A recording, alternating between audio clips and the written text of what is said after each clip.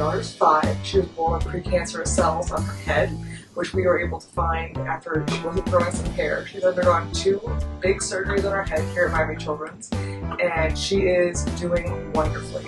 Dr. Chad Perlyn and the team working with him were phenomenal, but I can't think of a better place to bring your kids, and that is why I fully support everything that happens in Miami Children's Hospital, and I was recommend you to.